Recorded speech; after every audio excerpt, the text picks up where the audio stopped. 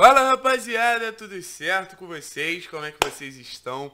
Um excelente sábado para todos nós. Uma semana diferente, né? Sem jogo do Furacão no final de semana. Teve na sexta e vai ser a base do meu vídeo. Afinal, a gente vai voltar a falar sobre tática aqui. Vocês gostaram muito do vídeo que eu fiz analisando alguns pontos do jogo contra o Metropolitanos, desse novo Atlético, as ideias do Antônio. Então, se vocês gostaram, a gente segue o caminho. Então, pode ter certeza que cada opiniãozinha que vocês deixam aqui é lida e é levada em consideração por mim.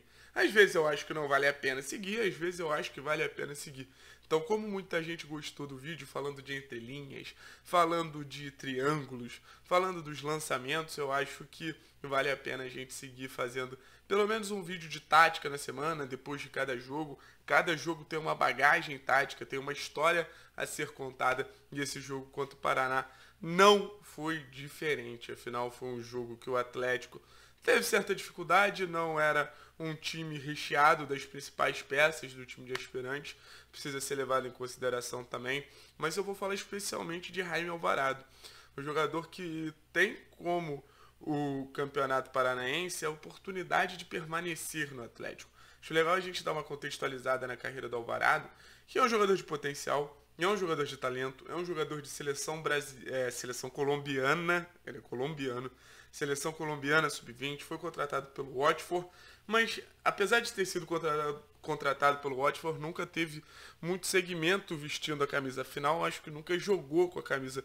do Watford. Sempre foi emprestado, atuou em clubes menores da Espanha e acabou chegando no Atlético com a oportunidade da vida dele. Assim, obviamente ele está numa vitrine muito maior do que a segunda, terceira, quarta divisão do futebol espanhol. Então ele precisa fazer por onde agarrar essa chance afinal uma vitrine ali, até mesmo para voltar para a seleção, ou para ser utilizado pelo Watford, que a gente sabe que olha para o futebol brasileiro, acabou de contratar o João Pedro, jogador do Fluminense, e o Alvarado chegou no Atlético não dando uma resposta muito positiva, pelo menos para mim, assim. Muita gente do clube que eu converso, que eu conversava na época, falou: Cara, tá chegando um meio campo foda, joga muito, lembra o Bruno Guimarães em alguns aspectos.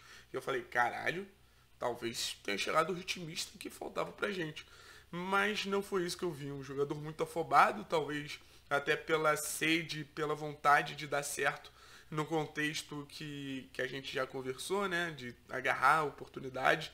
Então era muito afobado na marcação, cometia erros bobos, não conseguia dar seguimento às jogadas. O tempo foi passando, foi se mostrando muito mais um segundo volante do que um primeiro volante. Nas partidas que ele, por exemplo, substituiu o Richard, mostrou uma fragilidade defensiva na hora de proteger a defesa ali, que o Richard tem muito isso, né? O Richard em vários momentos é um terceiro zagueiro, mas protege a área muito bem. E contra o Bahia, contra o Corinthians, que o Alvarado acabou jogando como esse camisa 5, não foi tão bem.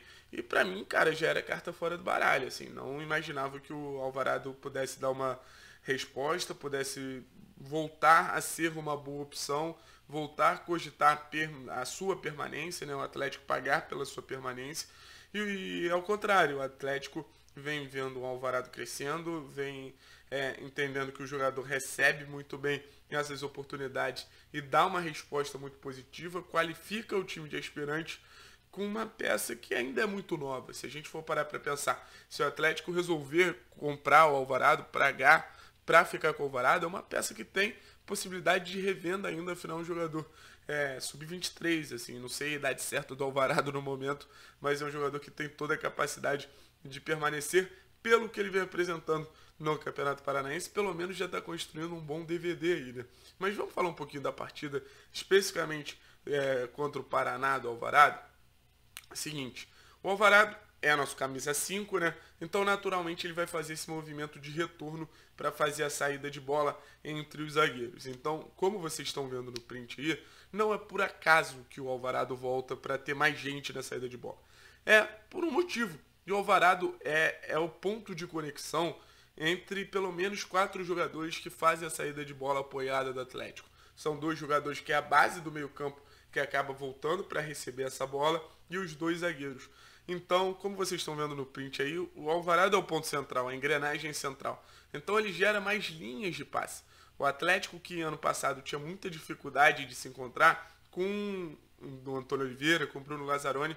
É um time que tem mais diálogo, consegue se falar mais, se encontrar dentro de campo. E o Alvarado é uma peça muito importante para esse movimento, para essa nova configuração de time mesmo, né? uma configuração tática, um comportamento.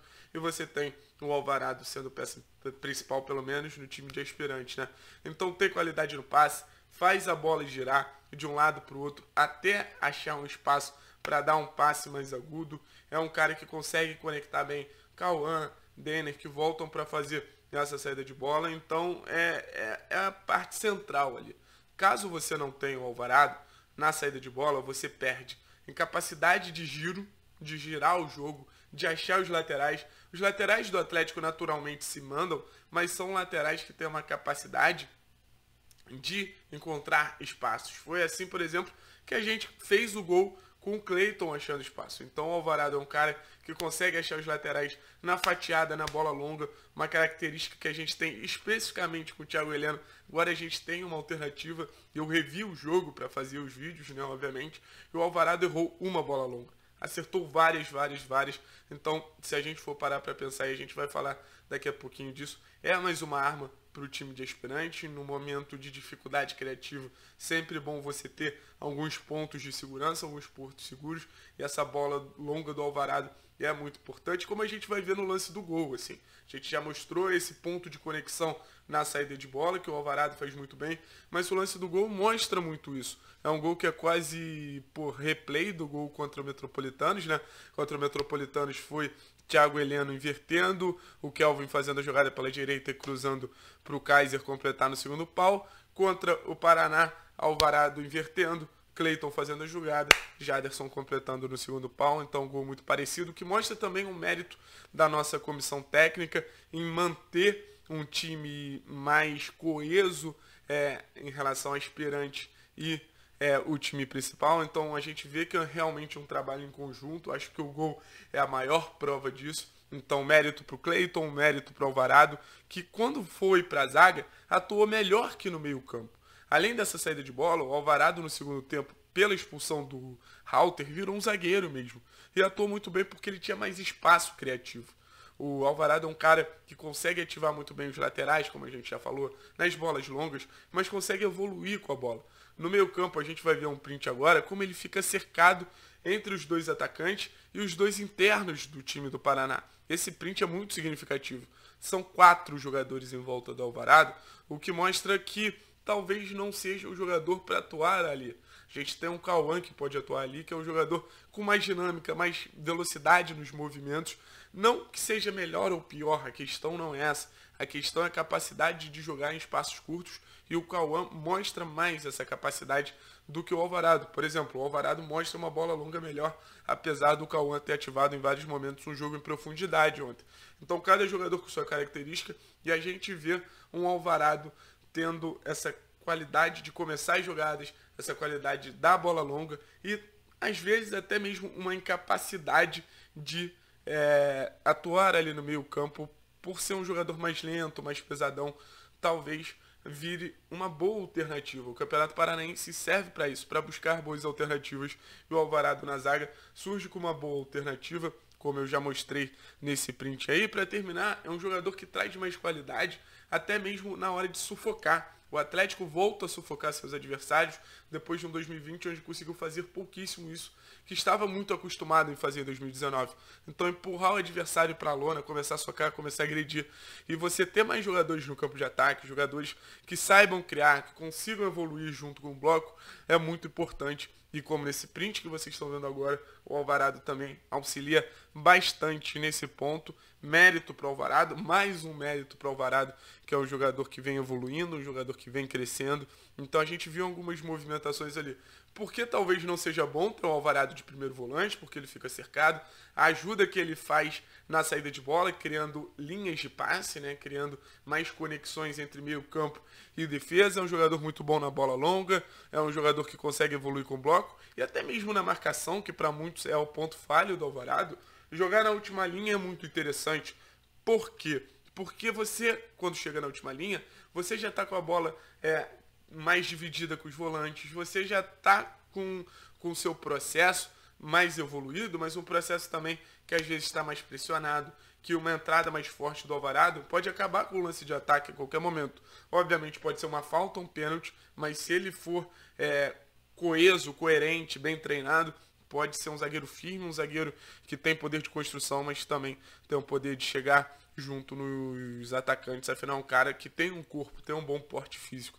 Então, acho que o jogo contra o Paraná mostrou que o Alvarado tem tudo para virar um zagueiro. A gente tem uma movimentação no futebol brasileiro muito óbvia de volante virando zagueiro, que foi o Ilharão e deu muito certo. Então, não acho que a gente não tem motivos para usar. Assim, acho que é mais uma boa oportunidade você ter um cara construtor num setor com menos marcação. O Atlético, em vários momentos da temporada, vai pegar times mais é, fechadinhos, como foi o caso do Paraná, como foi o caso do Metropolitanos, e essa bola longa vem salvando o Atlético. Obviamente não é sempre que vai encaixar, mas vem salvando o Atlético. Então espero que tenham gostado dessa análise que o Alvarado vem se mostrando mais zagueiro do que primeiro volante e por enquanto vem merecendo ficar. Precisa me conquistar mais ainda, mas vem merecendo ficar. Com a expulsão do Lucas Jalter, quem sabe na próxima partida, uma zaga de Alvarado Luan Patrick.